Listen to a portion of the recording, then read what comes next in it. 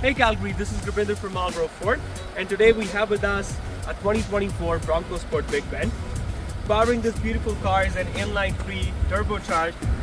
At the front you'll see we got some really nice projector LED lights, active grille shutters on this thing and let's check inside what this car has to offer.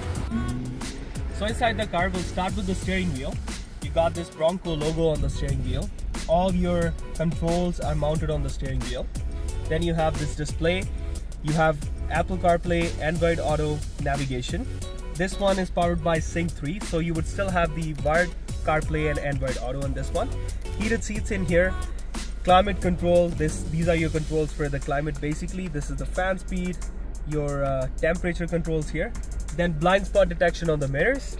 And here comes your electronic parking brake. That's your shifter, and this is your auto hold.